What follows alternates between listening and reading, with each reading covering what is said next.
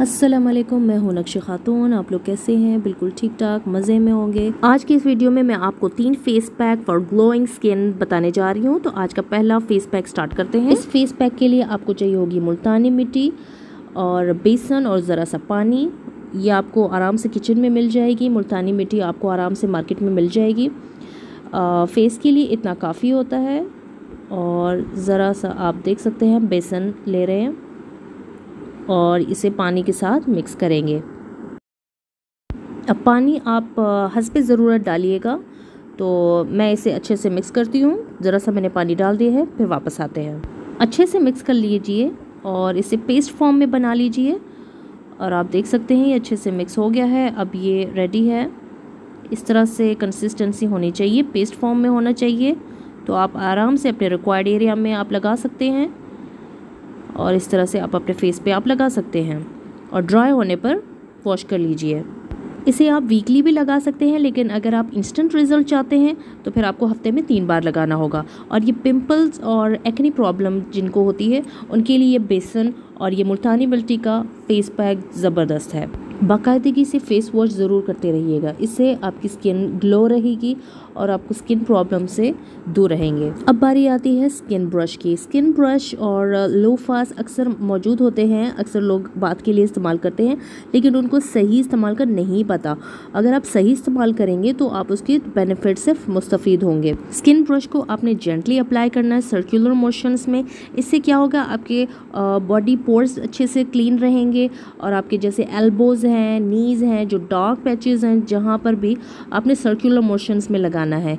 During बात अक्सर लोग इस्तेमाल करते हैं और इससे आप सर्कुलर मोशंस में अपने डार्क पैचेस को फेड कर सकते हैं। तरीका आप, बस आपको जेंटली इस्तेमाल करना है और सर्कुलर मोशंस में।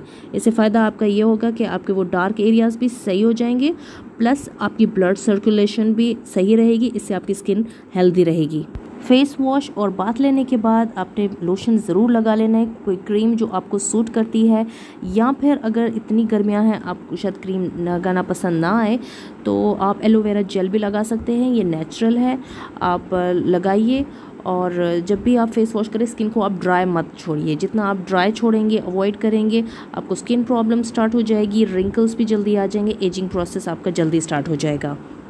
अब चलिए चलते हैं दूसरे फेस पैक की तरफ़। दूसरा फेस पैक है टूथपेस्ट का। जी हाँ टूथपेस्ट आप लगा सकते हैं, लेकिन टूथपेस्ट वो वाला लगाइएगा जिसमें हर्बल इंग्रेडिएंट्स हों। किसी किसी को बर्निंग इफ़ेक्ट होता है। अगर टूथपेस्ट अगर स्किन पे लगा लगा के पहले आप देखिएगा, अगर आपको बर्निंग इफ़ेक्ट आता है इरिटेशन होती है रेडनेस होती है तो फिर उसके लिए ये एडवाइस है कि आप ये टूथपेस्ट आपका फेस वॉश है, उसके साथ मिक्स करके लगाइए।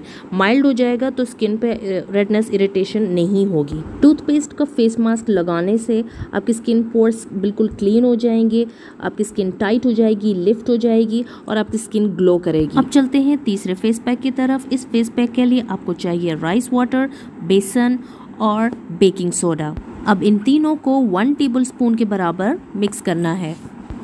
ये फेस पैक ज़रा झटपट आपको लगाना है, क्योंकि इसमें बेकिंग सोडा है। जल्दी से आपको अच्छे से मिक्स करना है। मिक्स मिक्स मिक्स मिक्स अच्छे से मिक्स करें। आप देख सकते हैं इसमें अब बबल्स आना स्टार्ट हो गया है। बेकिंग सोडा अपने एक्शन में आ गया है। आपने इसे फ़ौरन लगाना है। कोशिश कीजिएगा इसमें से लम्ब्स आप हटा लीजिए। आप अच्छे से मिक्स करेंगे तो ये लम्ब्स ख़त्म हो जाएँगे। ये फेस पैक आपका रेडी है। आपने स्किन पे अप्लाई करना है। ड्राई होने के बाद फेस वॉश कर लेना है। इस फेस पैक से आपको इंस्टेंट ग्लो मिलेगा। इस फेस पैक को लगाने से आप उसी वक्त फ़र्क महसूस करेंगे। इंस्टेंट रिज़ल्ट मिलेगा। हफ़्ते में दो से तीन बार इस्तेमाल ज़रूर कीजिएगा। ये तीनों फेस पैक ज़रूर ट्राई कीजिएगा। मुझे कमेंट करके बताइएगा। मुझे अपनी दुआओं में याद रखिएगा। मुझे दीजिए इजाज़त। जजाकल्ला खैर।